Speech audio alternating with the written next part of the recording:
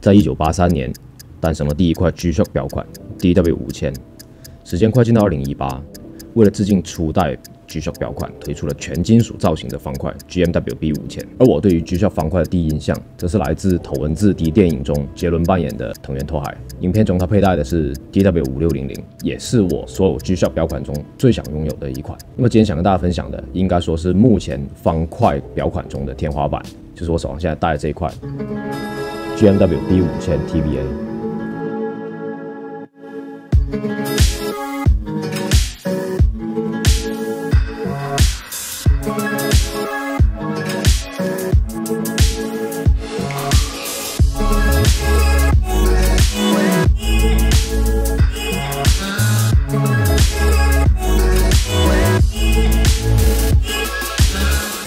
TVA for Titanium Virtual Armor 就钛合金外壳装甲，稍微有点中二的代号，但是这个很能诠释这个表款的一个显眼的风格。首先来看一下外观，跟普通金属方块的表盒也不太一样。钛合金这一款的表盒呢，还做了特别的定制，打开方式有区别之外呢，表盒自己本身在包装上也写了很多这款表的一些功能性，就是我说的那种你在说明书上就能看到的功能，它硬是要在外面再多写一次。就凸显一下它这种军事化、机械化的这种美学风格吧，可以这样理解。整体拿到手，包括开箱整个仪式感，包括戴上手这种效果，嗯，一套下来还是挺有满足感的，感觉还不错。作为 G-Shock 的起源表款，非常经典的方块造型，搭配的是最新一代的光能表盘。你可以看到它在接收光能的部分，跟普通方块造型的表款比起来呢，有些许差别，尤其是吸光板的纹路上啊。每一个单独的小部分呢，都会要更大一点点。它对于光能的敏感度是蛮强的。我这几天使用下来呢，我打开全自动的照明功能，也就是我们俗称抬手亮、抬手灯。实际使用中，晚上我在路边走的时候，如果有微弱的路灯，它都不会亮。就它对于光线的敏感度非常高啊。换个角度想说，它的好处就是可以非常非常充分的把一些微弱的光转化成它的动能储存起来。那这块钛合金 TVA 的表面。用的是蓝宝石，并且还是 STN LCD 的显示屏，所以它的显示效果会比普通的方块表款来讲会更加清晰易读，嗯，可视角度会更加大一点就看起来会更舒服、更透亮。那我更喜欢的是它整个材质是做了非常好的轻量化处理以及涂层。它在普通表款正常的圆点位置呢，就是一个点点装饰。TVA 这边是完全把这个孔打穿了，是镂空的，所以它整个重量非常轻，并且它表身表带都有 DLC 涂层。DLC 涂层就是一一般中高端一点的腕表才会用到的一个科技啊。整个涂层呢是有一种哑光黑的质感，它除了好看耐用之外，佩戴效果也真的很舒服。举个例子啊，现在这两款表呢已经是我拆下来表一部分表链，就是匹配我自己手腕维度的长度了。较真的你可以自己暂停看看啊。长边应该是七节，短边是五节，然后包括这个微调的点点，我是调最边边。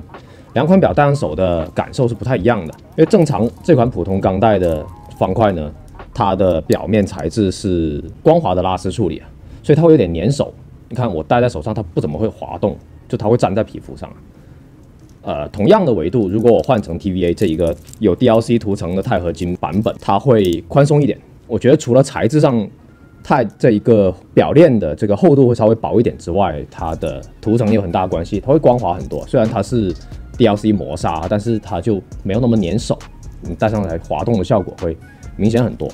当然，这不是说就一定好，有些人就喜欢表带的紧一点，固定位置不要动。但我自己呢，就喜欢不要勒那么紧，让它有点滑动的空间，我会舒服一点。呃，所以说这是我比较喜欢它的一点。现在这个是没有拆过任何表节，原装全长的表带，我们看一下它多重，颜色还不错，这个叫东京木色，没记错的话应该是，有点黑紫黑紫那种电镀的感觉，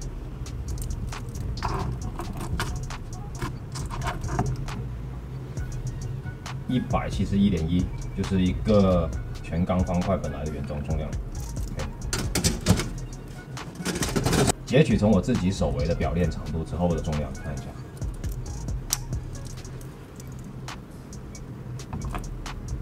它们两个材质是一样的，我截了大概有二十克左右，蛮多的耶。看一下这一个主角钛合金外壳。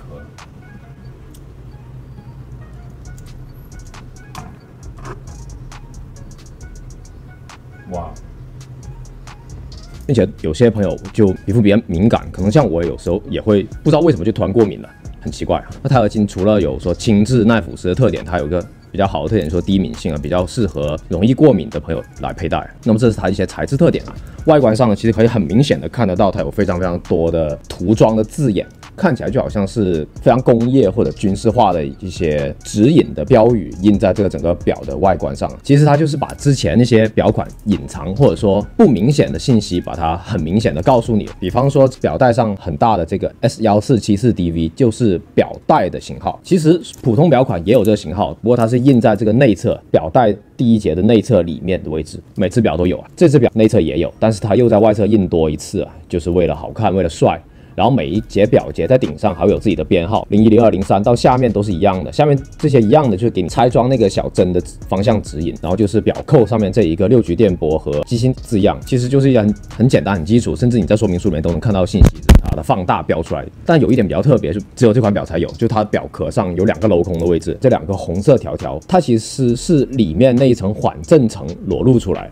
也就是说，它表壳挖了一个长条形的凹槽来镂空，让它中间的缓震层露出来。这缓震层其实每一款 G Shock 都有，是 G Shock 自己的一招牌的技术吧。G Shock 为什么这么出名？就是说它除了有这个特别凸起形状的外壳之外，以及就是中间这个悬浮科技的缓震层啊，就是中间红色这个颜色，透过背面看也能从这个表壳跟表身的缝隙中看到这一点点红色的材质。普通款的也有一样也是红色的，只是说在钛表这一款上面呢，它把它在正面也挖了个孔，除了镂空。空能减轻一点重量之外，就是说要把这个科技透出来给你看到，并且也有一个颜色上的搭配，黑红配，我觉得也是很经典。还有一个黑红的点缀，就是说表面这一圈在普通款上是一个拉丝材质，在这一款就变成一镜面的效果。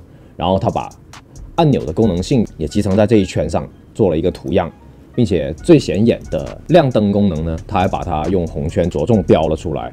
然后整个按钮也是红色，有点像相机上的录制键的感觉，很好看。整体作为一个点缀，效果还是不错的。然后这款表戴上手的效果真的很低调啊，帅是帅，但是如果你不跟别人说，一般没有人会察觉到这是一块一万多的 G Shock，对，就非常的低调。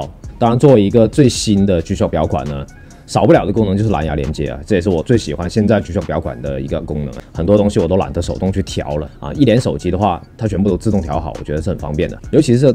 自动冬令时、夏令时，这个我确实不太知道什么时候调或怎么调。它一线自动搞定的话，其实省心很多。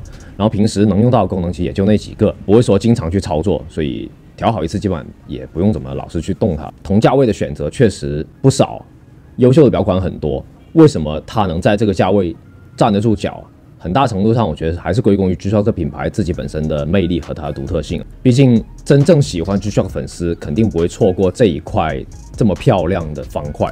我是觉得这款表它的收藏的价值可能会大于实用的价值啊，在我自己的观点来讲，对于 G-Shock 的忠实粉丝来讲呢，我觉得它的地位应该说是一个呃圣杯级的产品吧，可以这样理解。如果你是真正的喜欢方块这一个表型啊，这个造型的表款，但你又对它的价格有点望而却步的话，其实类似的选择还是真的不少。像我。我是真的很喜欢方块这个表款，但是这么多年来，因为它是作为初代表款来讲，到今天呢，已经有太多太多的花样去做了，多到我完全不知道怎么选。很多人就会说最保险的选择是全黑啊，我也知道全黑最保险，但是这真的太无聊了，而且太常见了，就没意思。全黑的 G Shock 我也不是没有，像我自己这块 G Shock 我戴了那么多年，白壳换黑壳，其实也算是换了个风格吧。所以我真的不想，如果要入方块，又就入一款普通的方块呢，我觉得挺没意思的。所以也是我这么多年虽然很喜欢方块，但我一直迟迟没有入手的原因。直到一八年，算三十五周年，它是推出了全金属的版本，我也很喜欢。但是这一次我拿到手呢，钛的跟普通版一对比，我就有点拔草普通版了，你知道？所以现在搞得我有点不上不下的。